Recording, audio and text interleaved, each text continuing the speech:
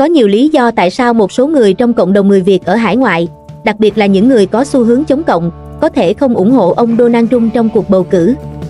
1. Hiệp định trục xuất giữa Mỹ và Việt Nam Năm 2008, Mỹ và Việt Nam ký một hiệp định về việc trục xuất người Việt Nam sống bất hợp pháp hoặc vi phạm pháp luật tại Mỹ, nhưng hiệp định này chỉ áp dụng cho những người nhập cư vào Mỹ sau năm 1995, thời điểm hai nước chính thức bình thường hóa quan hệ ngoại giao.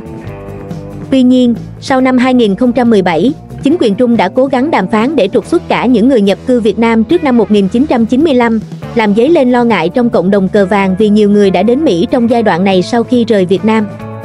2. Chính sách của Trung đối với Trung Quốc một số người cho rằng chính sách của ông Trung chưa đủ cứng rắn đối với Trung Quốc, nhất là khi so sánh với cách ông đã đối xử với các nước đồng minh.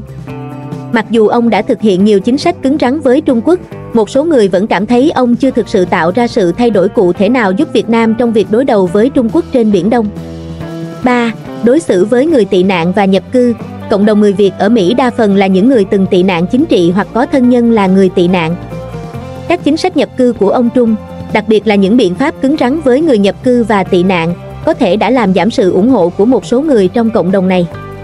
4. Sự thân thiết với lãnh đạo Cộng sản Ông Trung từng có mối quan hệ thân thiết với một số lãnh đạo như Vladimir Putin, Nga và Kim Jong-un, Bắc Triều Tiên.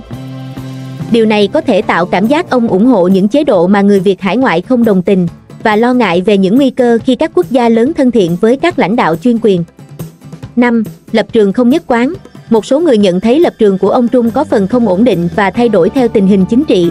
Điều này khiến họ thiếu lòng tin vào khả năng ông duy trì những chính sách lâu dài có lợi cho cộng đồng người Việt.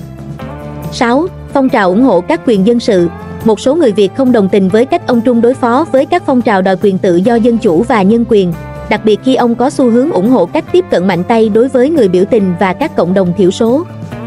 Điều này tạo cảm giác xa cách đối với các cộng đồng thiểu số như người Việt ở Mỹ. 7.